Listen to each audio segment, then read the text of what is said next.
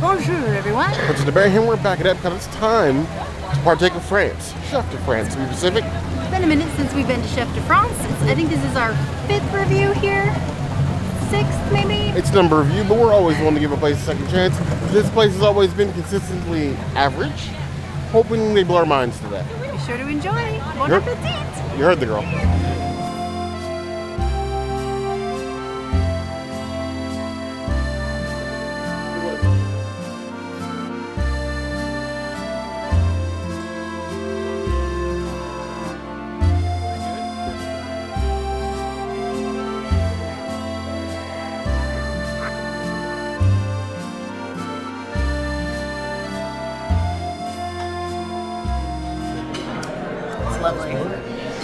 Is pretty much my go-to drink here, the house wine, because they're all vegan and there's like four to choose from, and it's relatively inexpensive compared to bottles of wine that I get at other restaurants at Disney.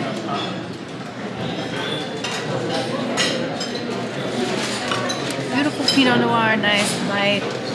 It's got a really like interesting um, taste at the back end. It's not too acidic, and I really like it. I will give it three and a half out of five red grapes. We're drinking the wines today, the grape juices, the adult grape juices, because when in France, is that what they say? We're doing in Rome. When in Rome. Today we're in France, so screw Rome. Mm. Princess chose well. Usually I'm tempted to let her handle these bottles by herself. Today we might actually fight over this bottle. For a house wine, it's one of the best house ones you're gonna find the World Showcase.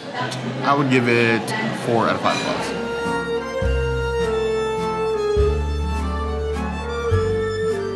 The hottest, freshest, most beautiful baguette. It's bigger than the one we got at Mr. Paul. And it's very hot.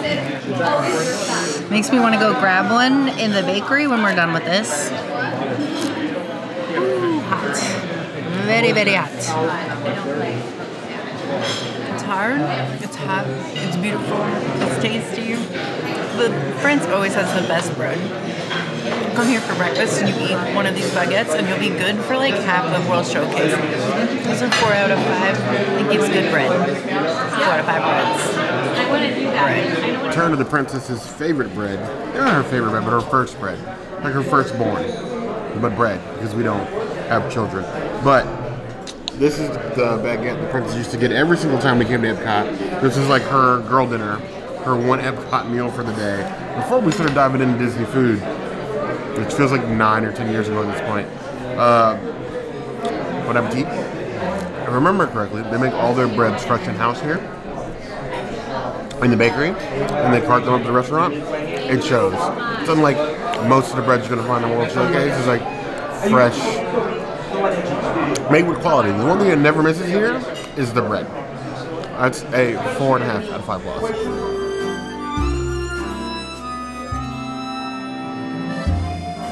So here we have this salmon tartare, which I've never had here, but you got a little salmon tartare, little uh, disc with chips in it, little sauces on the side to dip everything in.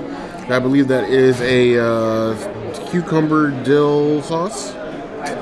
We're just gonna take a chip. Oh, you got more chips, but this is in America. We're just gonna take a little bit of salmon tartare. We're gonna take a little bit of this dill sauce, and we'll just do it all in. The potato crisp is a little soggy, the salmon tartare. Super tasty. Fresh, like sushi grade salmon. All chopped up, a little bit of dill in that. And you have like the dill, cucumber dill sauce. The light smoke to it as well. It feels appetizer worthy. This would be something that normally you share at the table. Obviously, there's no vegan salmon here, or vegan salmon Disney period right now, but I would like to see somebody make a vegan salmon tartare. That would be interesting. We could probably do it with carrots. That I'm thinking about it. Either way, it's tasty. Three and a half out of five plus. Just a hair more civilizing it. Everything in one bite this time. All this green here on the bottom that I missed before. I'm going to load that up on the chip.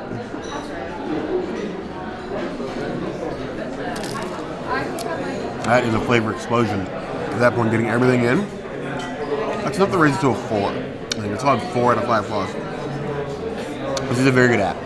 I like this. Now I want more. I'm glad I don't have to share.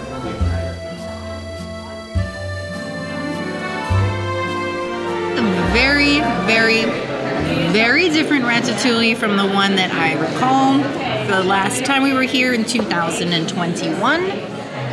Go check out that video. Um, they added a quinoa kale edition. I said edition twice. I'm a little scared for this. But let's just conquer this mountain together. Because we are all about trying new things here. Kale in it, I'm not a kale person.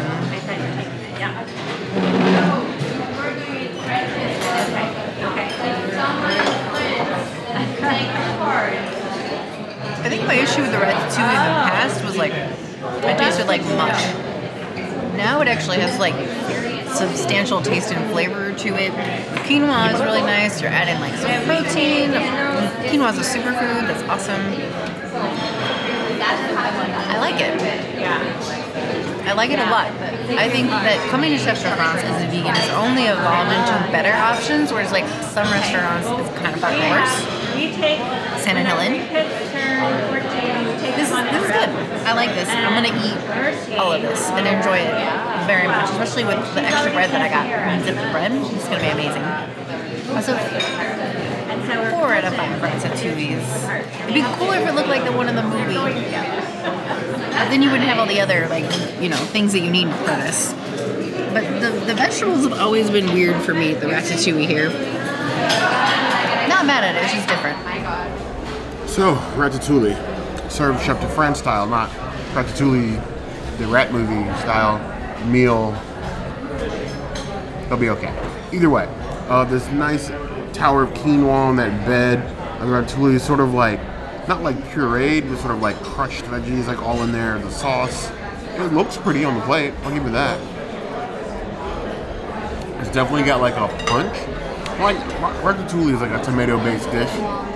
Usually worried that like the acidity of the tomatoes is gonna hurt the rest of the veggies. This time with like the sort of vegetable puree on top of the sauce, everything like soaked in that flavor, and it cuts right through these. So it's just a nice, smooth tomato vegetable style flavor. Think of it as like a artistic, thin, chunky tomato soup sort of flavor, and that that's about what ratatouille tastes like. Um, the quinoa provides some texture, but doesn't take away from the flavor of the dish.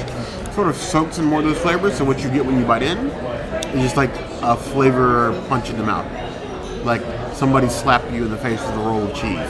Vegan cheese, but still like a roll of cheese, like Miyoko's maybe, just slightly on the cheek. I like it. I think it's much improved over what it was before.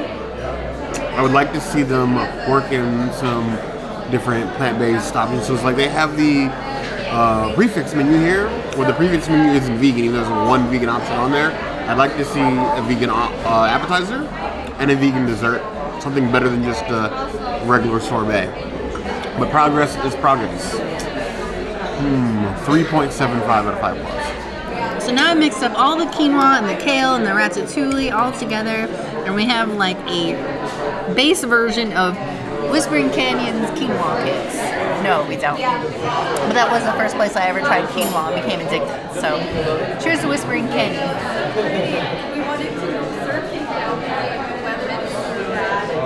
As a person who likes to keep my food separated, I can appreciate the food being mixed together. And most of the time I can't, But in this case I can't. So it's one of those things that if you like to keep your food separated, you can mix this and not feel weird.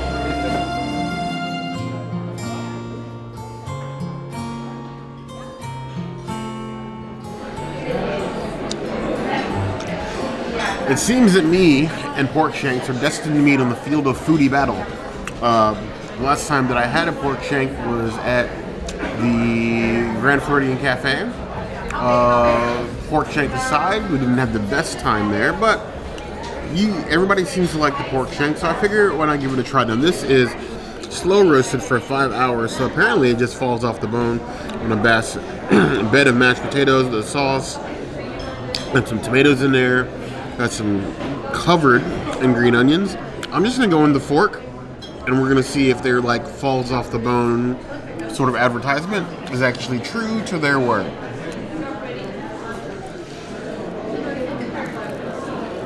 Yeah, it's true. they give you a knife, but you don't need it. I also don't need a piece that big. More like the bone just falls out more than falls off. There we go. Nice, healthy chunk of that pork shank. Green onion still on it. Nice and well cooked. Nice and juicy. Let's shank this pork. Green Mile style. It is nice and flavorful, like you sort of like taste all the juices from it being slow roasted. It's not dry at all. Literally minimal chewing involved. It's like meat candy, almost. Let's go ahead and try it with the mashed potatoes, the sauce, a little of that in there, some of the meats. We're gonna give this an all-in flavor test. Take a tomato as well. Like a pork shank bathed in the juices of French cuisine, basically. The mashed potatoes are the perfectly accompaniment to the savoriness of the pork shank. The sauce pairs well, so it's not overpowering the shank, still get the taste like those intricacies of the pork. And the green onions are a nice, like sort of like bright addition to that. Uh, I've had fish here most of the times we come here, and it was time to venture out. And I think that I do not regret getting this, and I would probably order this again. I would give this a solid four out of five claws.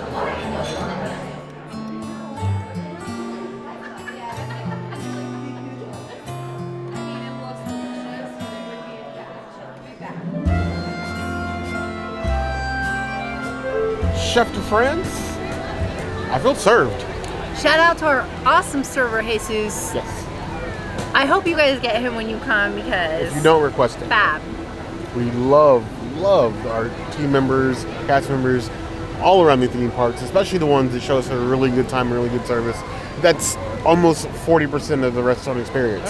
Food's one thing, but if you have a bad server, you're gonna have a bad time. I don't care how good the food is. True. Uh, Chef de France has improved. We'd like to see it I agree. continue to improve. More plant-based options. I'd like to see a plant-based prix fixe menu. Otherwise, it's a it's a good romantic date night. You're almost there, Chef de France. You have the, the plant-based entree and dessert. You just need to add an appetizer. If you could modify a salad for me, that would be great, but you can't. But I know what you guys think. Where does Chef de France rank on your list of places you're getting your reservations? You come here to visit. Let us know in the comments below. Of course, being your number one choice in foodie infotainment. If there's anything else you can see us do, of course, the comments is always a good place to find us. Hit the notification bell if you want to see other videos like this. And We have new videos five days a week. Monday, Tuesday, Wednesday, Thursday, Saturday. we'll see you soon. Be sure to subscribe. And if you don't comment, Bear will yeet himself inside a Disney table. And then he'll get stuck because he's a bear. I was actually just thinking of getting lost in that hedge maze over there, but you heard the girl.